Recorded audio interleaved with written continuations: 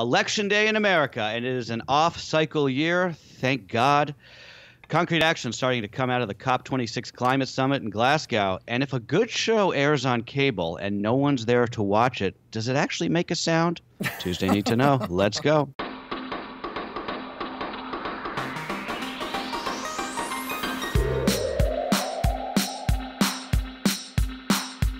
Good morning, everybody. This is Cheddar's Need to Know podcast for November 2nd. I'm Carlo Versano, and I'm here. That's right. Baker Yes. Machado, he's in today for Jill. Baker, great to see you, man. How you doing? Carlo, always good to see you as always, my friend. Happy Tuesday. Hash, happy National Deviled Egg Day to you. Uh, I know this is a dear a day near and dear to your heart. For most of us, it, uh, we vomit on, a, on an idea of, of uh, any deviled eggs. I mean, I don't particularly like the idea of eating deviled eggs at six in the morning, but I do. I like a good deviled egg. I like a good deviled egg. yes. yeah. If you're drunk on Thanksgiving, deviled eggs are absolutely delicious. Yeah. Yes, uh, Carlo, we have so much news to get to. It is insane. So let's dive straight into it. And did you know, by the way, uh, today's an election day. Today is It is. actually a day people go to the polls and vote uh, in several high-profile contests. Chief among them, the Virginia gubernatorial race. Uh, now, pundits closely watching that contest as a sort of proxy for the Biden administration. Democrat Terry McAuliffe has been running ahead of Republican Glenn Youngkin, though the latest polls have them either tied or Youngkin slightly ahead. Now, Terry McAuliffe has been trying to tie Youngkin to President Trump, though the two not particularly close. But that said, President Trump did hold a tele-rally urging his Virginia voters to turn out for the Republican. But we should note uh, Glenn Youngkin nowhere to be found at that rally whatsoever. Yeah, he's definitely uh, trying to keep Trump um, at an arm's length distance, just given that Virginia is now really not even a purple state; it's really a blue state at this point, and it, It has been. I don't Biden think won any. by 10 percentage points in 2020. I don't think any uh, Republican has won a statewide election in Virginia since 2009, so that could change today. That race, Yeah, Bob McDonnell. Yeah, all about uh, education in Virginia, which is interesting. That's not something that we've seen as really the uh, motivating factor in a, in many statewide elections recently. That is a potential warning sign, I think, for Democrats ahead of the midterms. Um, but just uh, all the in other races around the country here, the GOP also hoping for an upset in the New Jersey governor's race. That's very unlikely, but that would be a huge yes. deal. Yeah, yeah. The polls are polls are really far ahead there for Murphy, but it's closer than his last race. So you're right. Yeah, uh, here in New York City, we're technically choosing our next mayor, though. Spoiler alert: it's going to be the Democrat, Eric Adams. He's up by 30 in the polls in that race too. yeah, uh, I think he's got that one in the bag. Boston is electing its first woman and first person of color as mayor, regardless of who wins in that race. That's an interesting one to watch. And up uh, upstate in Buffalo, New York, there's a uh, real another interesting mayoral race between an avowed socialist and the incumbent Democrat, who's actually running to keep his seat as a write-in candidate. Uh, that race is going to provide a sort of test of the strength of the progressive wing of the party this uh, this year. As for Vir- Virginia, though, which of course is the big one, let's do some predictions. I mean, I think McAuliffe is going down. I really you do. think Terry I think McAuliffe that, is going to lose here? So I do. uh, so off-year elections are usually really hard for the incumbent party. One, because you have to Yeah. really sort of motivate your base, and you're going up against, you know, an opposition party who's incredibly motivated right now. Republicans incredibly motivated right now to go to the polls based on, you know, how much of the how they do not like the Biden administration right now. Um, on top of all of that, as I mentioned, Joe Biden won Virginia by 10 percentage points, but literally this is a coin flip at this particular point, and it's because Glenn Youngkin has been able to use critical race theory, schools, Yeah. the coronavirus, in many ways to his advantage of disenfranchised and upset parents over what's been going on in terms of schools to his advantage. And this is why Terry McAuliffe has been trying to use Trump as his way to galvanize Democrats to get to the polls. This gives us an indication about how both parties are going to use those respective ideas to motivate their bases Yeah. for the midterms next year. Republicans think they might have a winning issue here when it comes to schools and critical race theory, you know, something you see in conservative media ad nauseum every five minutes or so. And look, Democrats still believe that Trump is enough to motivate their voters to get to the polls, even though Trump is not on the ballot Yeah. per se.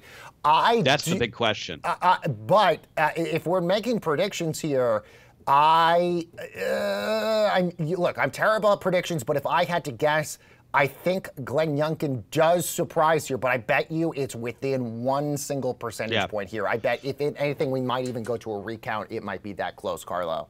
Yeah, we probably won't even know tonight if it's going to be that close. But just to your point about um, how he Youngkin has m- been able to mobilize, uh, you know, parents and suburban voters. I don't know if you saw some of these pictures out of his rally the other day in Alexandria, Virginia. That's the D.C. suburbs. That's about as blue as it gets. Oh yeah, true. He had an inc- he had an incredible turnout there. Yep. That was, if you're a Democrat and you saw those pictures, that was giving well, you and some. uh, suburbs are huge because yeah. those suburban voters are the ones that came out and turned out for Joe Biden in 2020. Independent suburban voters who traditionally vote Republican, but were really upset with President Trump, you know, because Glenn Youngkin is trying to sort of he's trying to ride the coattails of the Trump base, but not really like become a Trump candidate. And this is where Yeah. Republicans think they might have an advantage here by sort of uh, tiptoeing their way around Trump without alienating his Yeah. base at the same time. Um, let's talk about President Biden here. He vowed that the U.S. would lead by example when it comes to climate change, but the president stopped short of announcing any concrete new pledges on the very first day of the COP26 summit in Glasgow.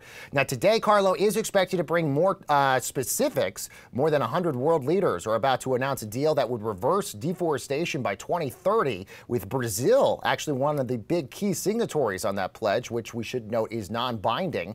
President Biden also planning to announce major new regulations when it comes to methane, the greenhouse gas that's far more potent than CO2. That announcement would restore and strengthen regulations that were canceled by the Trump administration, Carlo. So I see that everybody has moved into their respective corners, uh, as usual, whenever climate becomes a big news story. So uh, on the right, you've got conservatives ripping, uh, you know, politicians and the elite for being hypocrites and taking, you know, their private jets to this uh, oh, yeah, yeah. climate Not summit. masking, all that. I've seen that everywhere, yes. Yeah, so I mean, of course, like it's ridiculous. Bezos is like on, you know, going from his yacht to helicopter to private jet to go To to, a climate summit. Yes, oh yes, right. So that is ridiculous. I get it. Um, but on the other end, you've got uh, you've got libs, you've got the left sort of going, you know, alarmist, talking about how this is our last best hope at keeping human civilization alive. There's truth to both of those, right? But neither is helpful. So I just want to I want to sort of like decatastrophize the climate issue. And in therapy, you learn about decatastrophizing Oh, things, yes. right? I hear Trying about it all the time in my therapy classes. yeah so your therapy classes sorry that, that, that cracked me up um, so yeah let's let's just do a little like level setting on climate here. And i am a huge climate alarmist as you know. But it's just not helpful to talk about how like if we don't come out with a deal at this summit you know we're all going to be underwater in 20 years. So just remember our the need to know guiding principles when it comes to climate change. Number one this is the big one. Anything that emits carbon dioxide needs to be replaced by something that doesn't emit carbon dioxide. We have the technical capability to do that right this second. We just We don't do. have the will. Number two, nothing, and I know this is going to hurt, you know, hurt a lot of people's feelings, but it's true. Nothing you personally do to prevent climate change is going to matter at all in the scheme of things. I'm not saying you shouldn't do it, right? You should recycle you should try and limit your emissions where possible. You should be cognizant of your carbon footprint, but it doesn't actually matter, right? The outcome of, of all of this is going to be that either large scale actors, whether that be you know countries, nation states, or companies, will succeed, and we're going to get by by the skin of our teeth with the sort of life of extreme weather events and some serious but livable disruptions, or those large scale actors, companies, and governments will fail, in which case we're all screwed. Number three, which ties into number two. As soon as the price of, car- of climate change is seen as more economically important than the price of preventing climate change, the financial cost of the problem is no longer going to matter. This this does not really. A lot of people don't really seem to, you know, understand this. That is coming sooner than anybody thought. We- We're starting to see that now. So that's going to be a very painful economic disruption, and that's going to be very, you know, a difficult thing to get through. But the end result is going to be there's going to be more progress because it's going to we're going to get to a place where the money doesn't matter, right? We have to spend what we have to spend to decarbonize the atmosphere. So again, those are our sort of guiding principles. Keep those in mind whenever you hear everybody starting to, you know, uh, get into the the nitty gritty about you know somebody taking a private jet or a motorcade look, to a climate up, conference. You bring up a lot of really interesting and I think very valid arguments there, Carlo. You know, th- with this COP26 summit, where you have all these global leaders, some good things coming out. For instance, this morning I saw a report that all of the Western nations basically helping countries, smaller, more poor countries like even South Africa, get off of coal and helping them with their renewable energy. That helps tremendously because you this is a global situation here yep. that you have to even get the poor countries that don't have the technological infrastructure to play ball here. Uh, the problem is is with things like this when China, in particular, 25% of the emissions going out into the atmosphere when it comes to carbon come from China. And China has yep. to come and play ball here. So far, they have not had any interest in playing ball. So, to your earlier point, you can do all the things that you want, and your country can do all the things that you want to try to help when it comes to the climate issue. But if you have countries that are polluting 25% out there, that are doing nothing about it and have no interest in doing anything about it, that becomes a very huge problem here. The, the thing that makes me optimistic here as somebody that cares deeply about our climate is businesses are starting now to realize yeah. the financial incentive for them now to start adapting to uh, more renewable energy sources, you know, all that other sort of stuff. Because once they once it hits their pocketbooks, they realize that it's a better alternative to switch to these greener sort of things out there, from wind power to everything else. But right now, for so many companies, coal and natural gas and all these other things are so cheap for them right now that this is why you continue to see, you know, those still being used as a form of energy right now. Right. Well, one last thing I'll say on this, uh, just I want to plug something. Cheddar has a big climate special today oh, yes, tied to the COP26 20, uh, COP26 summit.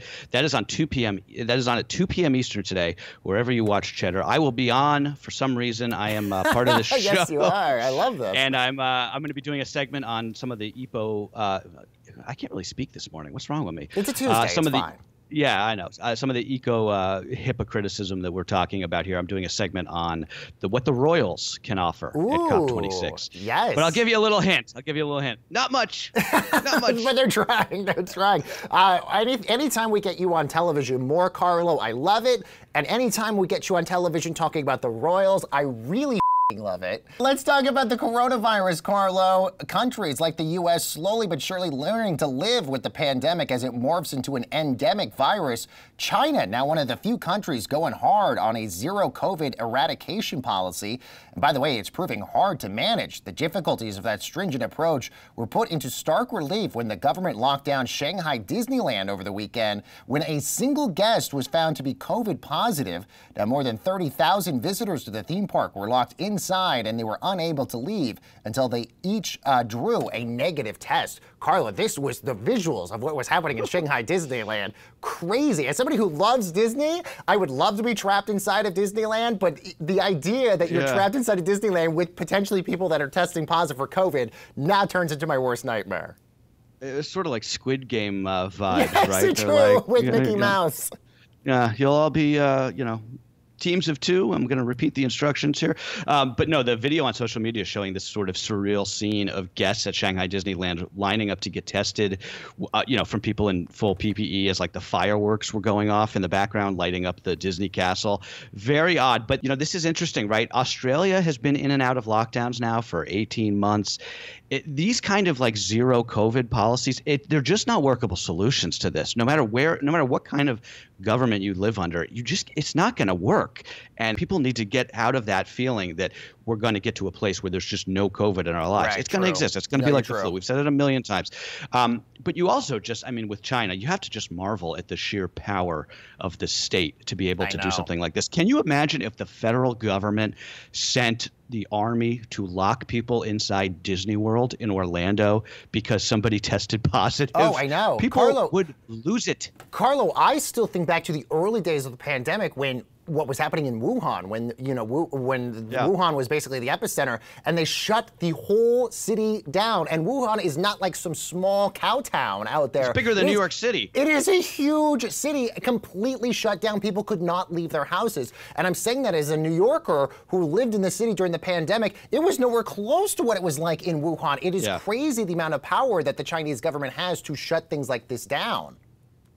Yeah, I'm not. By the way, I'm not like uh, in, endorsing that. I don't think I would. There, there would be riots if they tried to do something like that oh, in the United yes, States. especially and now. Especially now. Yeah, but there should be. I mean, that is a ridiculous overreach of um, you, you know, the government. It's, it's one thing to like for there to be lockdowns you know, if there's a serious, you know, wave happening as we saw here, but because one person threw off a, neg- uh, a positive test, you know, th- that's just not sustainable. No, I agree, Carlo. Let's move on and let's talk about some more news of the Jeff, uh, Jeffrey Epstein fallout. He's still causing CEOs to lose their jobs left and right more than two years after his death by suicide. Jes Staley, suicide. yes, yes, that's always yes, yes. That's going to be my favorite sort of documentary that's going to be coming out. Was it a suicide or was this planned? What happened? Anyway, let's talk about Jes Staley. He resigned as chief executive of Barclays. That amid an investigation by British regulators into his ties to the disgraced financier and convicted sex offender.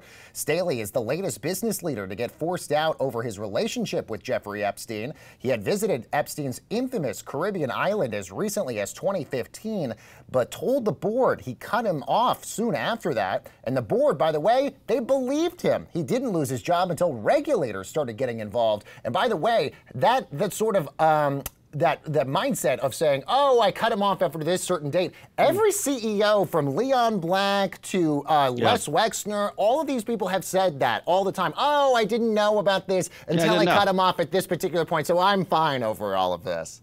Same with uh, two American presidents, Bill oh, Clinton yes, Clinton and Donald Trump. True, true. But both both of whom were tight with Epstein at least at some point in their lives, and then claimed to basically not know him.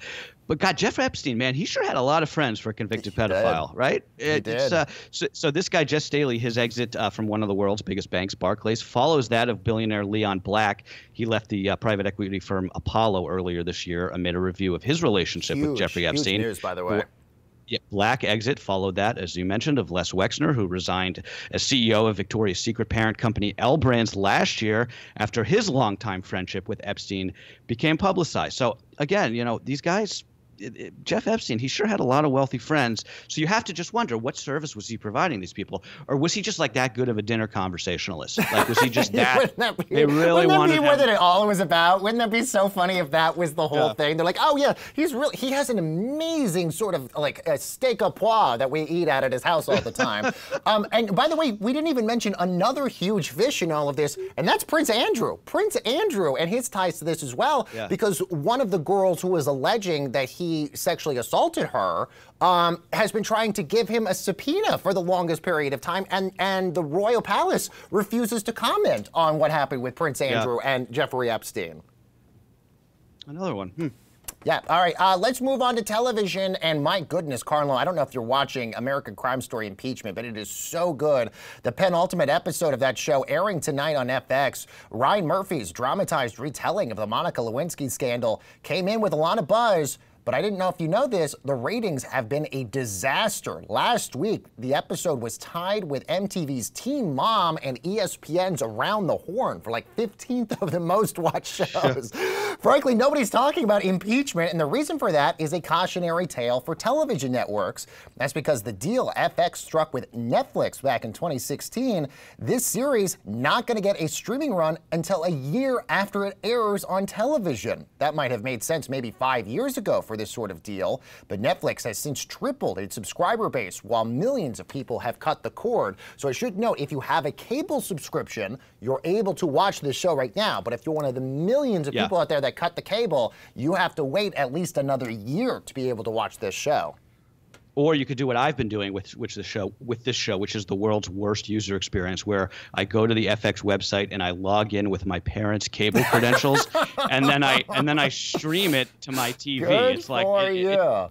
it takes like 10 minutes and it doesn't even work half the time um, but it is it is fascinating right because even when this show started in 2016 with the oj series Yep. uh, it, it also wasn't on streaming but it had a lot more buzz which just shows you even in that short period of time you know the the the potency of cable television has just plummeted i mean look at squid game right i think this show is actually much better than squid game but the difference in buzz there's no memes about Nope. this show there's Nope. no joke Nope. no one's joking about it on Twitter. Everyone's still talking about uh, Squid Game. Everyone's dressing up as Squid Game costumes for Halloween, like you did. Um, so it's just it's it's a fascinating sort of uh, you know case of of what breaks through in this day and age, right? Carlo, this the American Crime franchise is an Emmys darling because the OJ franchise, the first iteration, swept the Emmys across the board. Then the second season, which was the Versace uh, storyline, which I thought was awesome, you had Darren Criss win Best Actor, yeah, which was so good in that. This one, the cast is absolutely incredible, and it's produced yeah. so so so well. And if anything,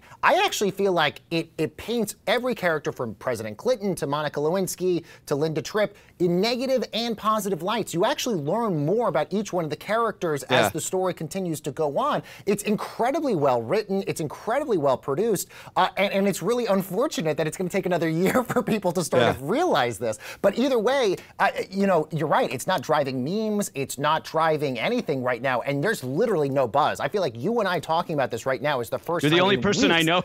Yes, yeah. you and I talking about this is the first time in weeks I've heard anybody talk about it. I mean, it was in the front page of the New York Times yesterday, and that was sort of the only buzz I've heard about it so far, and which is very unfortunate because I do believe um, I do believe Sarah Paulson's probably going to win an Emmy for Linda Tripp. She's so good in this Incredible, role, yeah. and and I think it's going to be a finalist probably for limited series also. I, I have to say, I, I, Becky and I are watching this in succession, and I'm I'm deeply uh, enjoying both of them. This this show is like it's very kitschy, um, mm-hmm. um, but that's kind of his that's that's his shtick, right? Yeah, it's campy, and I like that. And, and um, so with anyway, Ryan Murphy, and with Ryan Murphy shows, it's hit or miss. His Netflix shows, because now when he yeah. has the unlimited sort of budget to do whatever he wants, a lot of those shows, except for Halston, are really big misses. But the FX stuff that he does still sort of have the bite to it, which is really good. Yeah. Sort, of, sort of like the early days of the Nip Tuck years. So something about his FX programming so yeah. much better than what he does on Netflix. I'm really digging Clive Owen as uh, as so Bill good, Clinton. Right? By the way, I, you know, I, I we got to move on. Hold on, on, one last thing, one last thing, one last okay. thing. Edie Falco is Hillary Clinton. I'm warming up to it a little bit, but Clive Owen is Bill Clinton, incredible. Yeah. I like her as well. Okay, uh, more to know before we go, Baker. All right, off. so let's start with politics. Joe Manchin, oh, he just threw a Manchin bomb yesterday. He says he cannot support President Biden's social spending bill, putting the brakes on the hopes that Democrats could vote on that bill as early as this week. The senator from West Virginia accusing progressives in his party of holding that legislation hostage. But we should note progressives, uh, even Pramila Jayapal, saying that the vote still likely will happen this week on those two bills. God, get out of the way, man. Uh, okay, thousands of cops, firefighters, and other city workers here in New York City going on unpaid leave for failing to comply with the city's vaccine mandate. We talked about this a bit on Friday. Uh, sounds like about 9,000 workers in total are defying the mandate, but 91% of municipal workers are in compliance. So numbers did go up as we expected them to uh, significantly over the weekend just before this deadline came into effect. Quite the interesting new feature that Apple is developing here, Carlo. Apple reportedly testing a new feature that would detect car accidents as they happen. Crash detection for iPhones and Apple Watches would use motion sensors built into those devices that would be able to tell if you're traveling in a car that has been hit. That the feature would then dial 911 automatically on your behalf. Really cool that they've been able to figure that out. I, my understanding is the Google phone actually can do this um, oh, already. Interesting. Uh, I'm not. I'm not positive about that. Uh, okay, and uh, this this one I sort of got a kick out of this. Zillow managed to do what no one else could in 2021: lose money flipping houses. The online listing giant uh, Zillow selling off 7,000 homes, many of them at a loss, after they went hard on this home flipping business called iBuying, just as home price appreciation started to cool. It now looks like it's uh, it may have plateaued a couple months ago.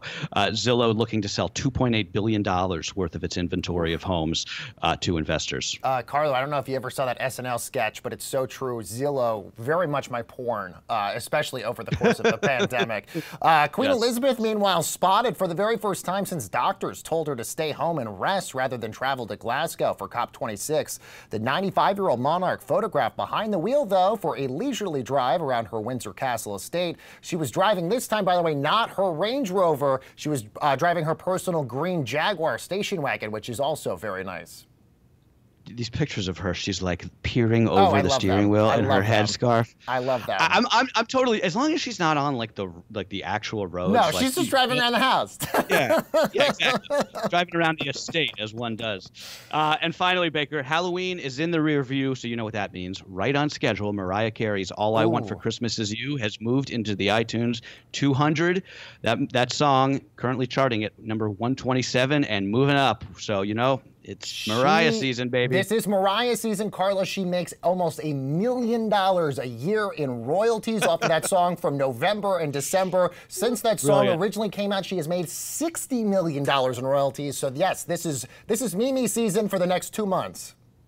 You gotta hand. I mean, that is just respect. What else can you say other than Yeah, respect? amazing. You pump out a Christmas song in 1994, and you're cashing out on it uh, Every year. 25 years later, every year. Good for her. All right, folks. Uh, thanks for sticking with us today. That's what you need to know for Tuesday, November 2nd. Go out there and vote if you uh, have something worth voting for.